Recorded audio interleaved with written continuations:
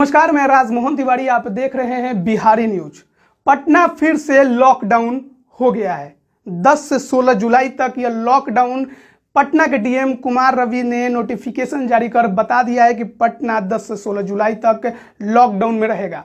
और ये लॉकडाउन क्यों लगाया गया है, उसका कारण पटना वासी हैं, पटना के लोग हैं जो गैर जिम्मेदार रूप से इस कोरोना काल में बाहर निकल रहे हैं, बिना मास्क के, बेवजह बिना काम के सड़कों पर घूम रहे हैं, उनके वजह से फिर से पटना लॉकडाउन हो गया है। जो लॉकडाउन की स्थिति बनी है, उसमें इस बार क्या खुला रहेगा, क्या बंद रहेगा, इसकी जानकारी हम आपको दे देते हैं।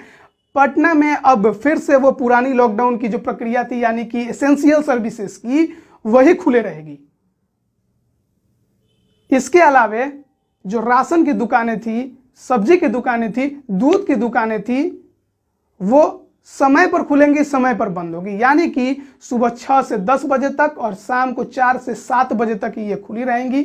आपको इसी समय के अंतराल में जाकर अपनी ज़रूरी की सामानों को लेना है। बेवजह सड़क पर निकलने वालों की सोटाई होनी अब तय है। अगर आप बिना मास्क पहने बिना बाहर निकलते हैं तो भी आपकी सोटाई होनी तय है। और यह ज़रूरी है आपके लिए, बिहार के लिए, पटना के लिए कि आप को, अगर आप अपने मन से, खुद से अपनी सुरक्षा नहीं कर रहे हैं तो सरकार प्रशासन आपके लिए ना तो पूरे बिहार के समाज के लिए यह काम करे कि आपको जो दिया गया है, जो नियम बनाए गए हैं, वो पालन करवाए। पूरे अंतर्राष्ट्रीय संस्थान से लेकर एम्स के डॉक्टर, सभी डॉक्टर चिल्ला रहे हैं कि मास्क पहनिए लेकिन पटना के लोगों को नहीं। पटना के लोगों के लिए उससे कोई मतलब नहीं है, मास्क से कोई मतलब नहीं है। मास्क ऐसे लग रहा है कि उनकी जान ले रहा है। जान बचाने वाला चीज़ उनकी जान ले रहा है, शायद इसीलिए वो मास्क नहीं पहन रहे हैं। कोई मतलब नहीं है। क्या पटना के लोग इतने अनपढ़ गंवार हो गए हैं? क्या पटना के लोगों के लिए इतनी भी अकल नहीं है पटना वासियों में कि वो मास्क पहन कर जाएँ? किसी से बात कर रहे हैं तो मास्क रखें। बात करते हुए मास्क हटा ले रहे हैं। सोशल डिस्टेंसिंग से कोई मतलब ही नहीं है। मास्क ले रहे हैं, पॉकेट में लेके घूम रहे हैं। किसी से पूछो, भैया, मास्क क्यों नहीं लगाते हो? तो कहते हैं कि, है ना, पॉकेट में। क्या बात है भाई? ये पॉकेट में रखने का चीज़ है? इसका कोई मतलब नहीं है। क्या चेहरा पे लगाने से क्या हो जाएगा? सुंदरता ढक जाएगी आपकी। पटना बचेगा, बिहार बचेगा तो आगे साल, दो साल में आपको अपनी सुंदरता दिखाने का मौका मिल जाएगा। फ़िलहाल छुपाइए नहीं, मास्क को चेहरे पर लगाइए। नाक और मुँह को अच्छे से ढकिए ताकि कोरोना का जो अंदर जाने का प्रवेश द्वार है आपके मुँह और नाक से, वो बंद रहे। लेकिन अगर अभी भी आप नहीं सुधरे तो ये सोलह का लॉकडाउन कितने दिन आगे बढ़ेगा, आपको इस बात का अंदाज़ा फ़िलहाल नहीं लग रहा है। ये समय है कि अब आप सचेत हो जाइए अगर नहीं हुए हैं अब तक तो। हालाँकि आपको सचेत तो काफ़ी पहले हो जाना चाहिए था, पचहत्तर दिन का लॉकडाउन था, क्या आपने उस लॉकडाउन में कुछ नहीं समझा, कुछ नहीं जाना? क्या दुनिया और देश को देखकर आपकी स्थिति का अनुमान नहीं हो रहा है कि कोरोना कौन सी बीमारी है? इतनी खतरनाक वायरस से भी अगर आप इस तरह से गैर जिम्मेदार होकर पटना को बचाने की बात करते हैं तो इसका मतलब है कि आप मज़ाक करते हैं।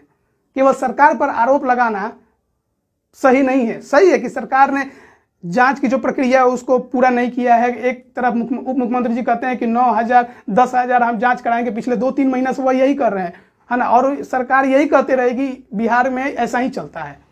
सरकार तो नहीं ध्यान दे रही है तो क्या आप भी अपनी सुरक्षा, बिहार की सुरक्षा, अपने परिवार की सुरक्षा पर ध्यान नहीं देंगे? क्या यही मतलब रह गया है? बिहार के जो लोग हैं, खासकर पटना के, क्या उनको ये मालूम नहीं है कि पटना में कोरोना पीक पर जा रहा है? मुख्यमंत्री का आवास सुरक्षित नहीं है।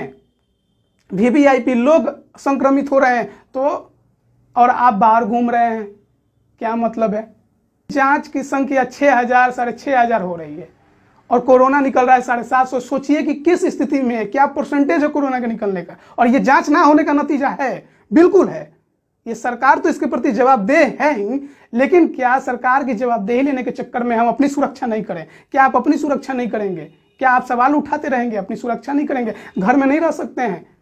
कोरोना से बचना है तो आपको घर में रहना पड़ेगा। ये अब ज़रूरी हो गया है। और अगर बिना मास्क पहने अगर आप निकलते हैं बाहर तो आपकी पिटाई होनी अब निश्चित है और इस पर कोई भी, किसी भी प्रकार का ऑब्जेक्शन नहीं करने वाला है। आपको अब सुधरना पड़ेगा। अगर नहीं सुधरते हैं तो याद रखिए, ये बिहार बर्बाद हो जाएगा। ये पटना ही बर्बाद नहीं होगा, ये बिहार बर्बाद होगा, क्योंकि अभी वायरस इस स्थिति में है कि जहाँ नहीं पहुँचना चाहिए था, वहाँ तो पहुँचा ही है। जहाँ और सोचिए कि अगर हम अभी भी नहीं सचेत हुए तो जब कम्युनिटी ट्रांसफ़र में घुसेगा बिहार तो किस स्थिति में जाएगा बिहार? आपसे अनुरोध है, घर में रहिए। ये ज़रूरी है और ये लॉकडाउन मानिए सात दिन। अगर ये सात दिन आप घर में रहें, बेवजह बाहर नहीं निकले तो हो सकता है कि आगे की स्थिति हमारे लिए थोड़ी बेहतर हो जाए। आठ जुलाई को रिपोर्ट आया बिहार हेल्थ डिपार्टमेंट का कि छः लगभग छः हज़ार के जाँच में साढ़े सात सौ कोरोना पॉजिटिव पूरे बिहार से मिले। पटना में उसकी संख्या उन साढ़े सात सौ में दो सौ पैंतीस थी। उन 235 संक्रमितों की संख्या से पटना का जो कुल पॉजिटिव मामलों की जो संख्या हो गई, वो साढ़े तेरह सौ तेरह सौ इक्यानवे हो गई, जिसमें से छह सौ इकतालीस घर गए हैं ठीक होके, बारह लोगों ने जान गंवाई है और छह सौ अंठानवे केस अभी भी एक्टिव है। सोचिए, छह सौ अंठानवे यानी सात सौ केस एक्टिव है। लेकिन हम पटनावासी सुधरने का नाम नहीं ले रहे हैं।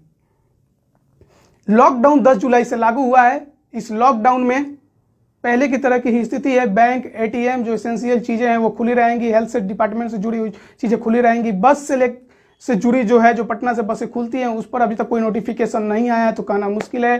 ट्रेन 12 अगस्त तक तो ऐसे भी लॉकडाउन में हैं, लेकिन जो चल रही थी, शायद वो अभी चलती रहें। स्पेशल ट्रेनें जो चल रही थी, क्योंकि वो केंद्र सरकार के हाथ में है। केंद्र सरकार इस पर क्या निर्णय लेती है, यह देखने वाली बात होगी। और फ़्लाइट को भी लेकर केंद्र सरकार और राज्य सरकार किस प्रकार का निर्णय लेते हैं, ये देखने वाली बात होगी। लेकिन फ़िलहाल पटना के डीएम ने जो लॉकडाउन की, पटना में लॉकडाउन की जो बात कही है, उसमें पूरी तरह से जो पुरानी, इस तरह से खुले घूम रहे थे हम, बिना बेवजह जो लॉक अनलॉक शुरू हुई थी, उसके बाद से जिस प्रकार की प्रक्रियाएँ बनी थी, बेवजह घूमने की शुरू हो गई थी, पार्टियाँ करने की वो सब बंद कर दी गई हैं।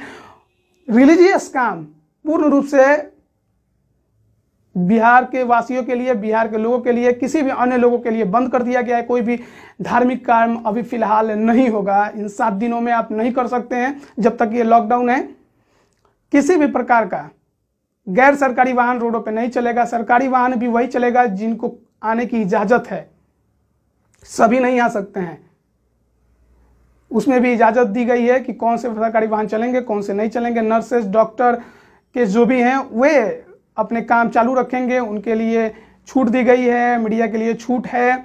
और इसके अलावा जो नगर निगम है, ज़रूरी के जो कर्मचारी हैं सैनिटाइजेशन के और वाटर सप्लाई वगैरह के, वो काम पर आएँगे। आईटी सेल में इसेंशियल लोग ऑफ़िस आ सकते हैं अन्यथा काम घर से ही होगा। वर्क फ्रॉम होम अधिकतर क्षेत्रों में कर दिया गया है कि वर्क फ्रॉम होम आपको करना पड़ेगा।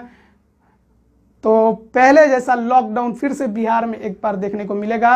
और इस बार सख्ती से पालन किया जाएगा और पटना के डीएम ने साफ़ कहा है कि अगर नहीं मानिएगा तो गाड़ी जब्त जो होती थी वो तो हो गई। आप इस बार आपकी पिटाई ज़ाहिर तौर पे की जाएगी। बिना मास्क के जो भी दिखेगा, उसकी सोटाई की जाएगी।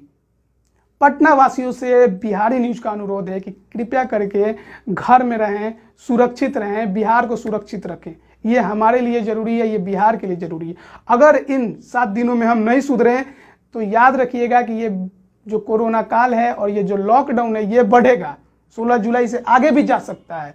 नियम कानून जो बनाए गए हैं, आपके लिए बनाए गए हैं। आपकी सुरक्षा, बिहार की सुरक्षा के लिए बनाए गए हैं। इस देश की सुरक्षा के लिए बनाए गए हैं। इसलिए इस नियम कानून का पालन करिए, सुरक्षित रहिए, बिहार को सुरक्षित रखिए। धन्यवाद।